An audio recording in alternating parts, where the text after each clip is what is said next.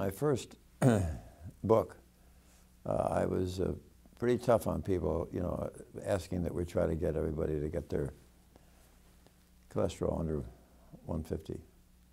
And that would, for those that easily did that, that would work. It, it's kind of a false way of getting it there by just taking a gorilla dose of statin and then getting your cholesterol down. That doesn't work because, look, no number has ever caused heart disease. Heart disease is caused by what is passing through your lips every day. It is going to destroy the ability of your endothelial cells to make sufficient nitric oxide. So in the new era, in the next book, we'll probably have to say something like this. Sure, if you're naturally, with the way you're eating, your cholesterol is under 150, you are going to be protecting yourself. But suppose that we had a situation where I had a thousand persons who were totally 100% compliant with the artery, the, with the disease, excuse me, uh, with the nutrition form that I'm asking, whole food, plant-based nutrition. Those thousand people, they're going to be some that have a cholesterol of 110, some will be at 140, maybe 160, 180, 200, or 220. Now, what, did that, what does that tell us?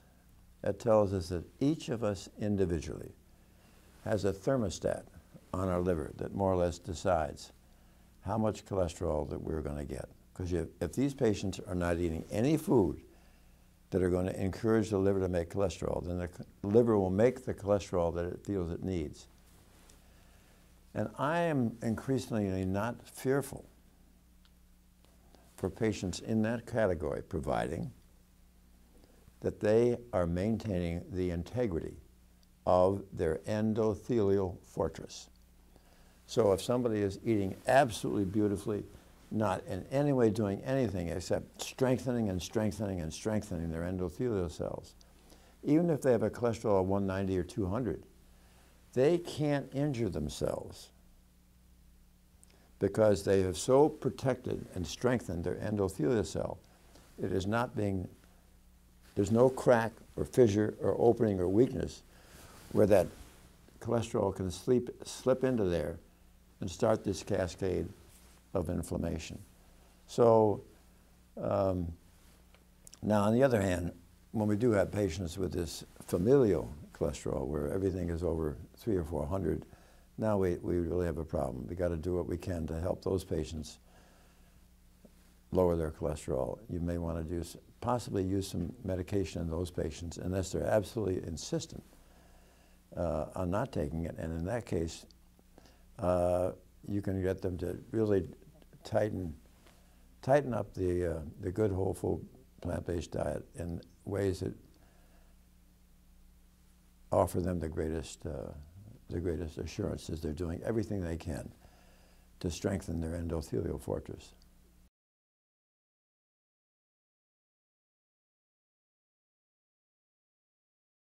Uh, the reason I have trouble with the government levels is that they really, uh, it's really,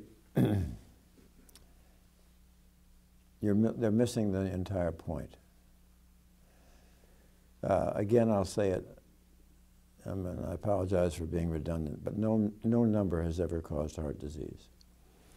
And if they say it's 200 and then it's 130 for your LDL or something like that, there's no mention at all there none whatsoever of your endothelial cells and protecting them. So if somebody happens to have a cholesterol that's over 150, but they're absolutely not eating anything that is going to injure their endothelial cells, that they're building their endothelial fortress, then I, then I think they, uh, they're, they're protected. But I think just to, to throw out a number and not explain what really causes this disease is, is not really telling the whole story.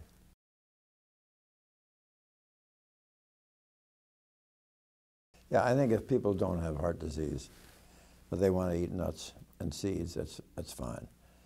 But these have an awful lot of saturated fat, so I guess I can be a little bit of an outlier here. And uh, if I have patients seriously ill with heart disease, I do not want them to eat peanut butter and cashew sauce and nuts. How many people do you know who will eat one nut? Nuts are highly addicting, and they have a lot of saturated fat. And so right now that we are getting absolutely very exciting and stunning results with the patients that follow our program. And so I have yet to see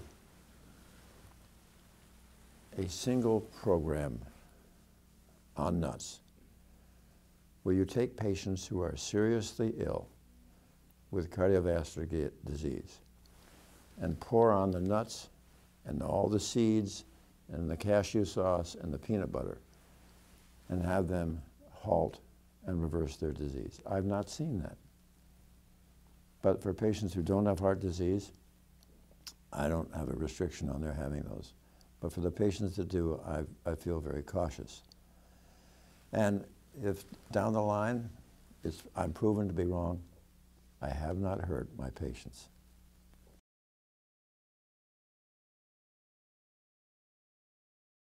Well, I, I, think there are multiple studies that clearly show that dairy is one of the worst things you can do in terms of what it can do for tumor, tumor formation and what it can do for uh, atherosclerosis. Can you imagine can you imagine a patient with heart disease being asked to eat ice cream and cheese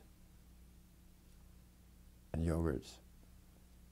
No, I, and butter. I mean, it just is absurd. Now, dairy is a, dairy is a food that has got to go. That's now, just in wrapping this up, the reason that I, uh,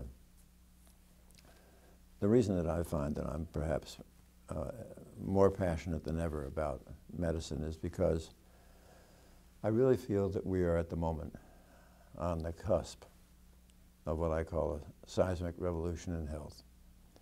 And this seismic revolution in health is going to come about because, well, we've talked about heart disease today.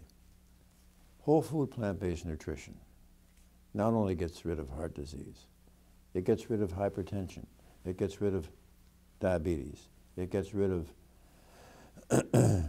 high cholesterol. It gets rid of the risk of stroke, of vascular dementia, Crohn's disease, osteoporosis, and uh, ulcerative colitis, rheumatoid arthritis, lupus and multiple sclerosis, allergies, asthma, kidney disease. I mean, the list goes on. We have never before, never before have we had in medicine's toolbox a therapy that is so safe, so void of hideous side effects, so inexpensive.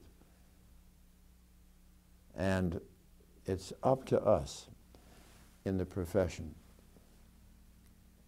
to find the will and the grit and the determination to share with patients the lifestyle and most specifically the nutritional literacy that will empower them as the, lo the locus of control to absolutely annihilate 80% of chronic illness. Thank you. Música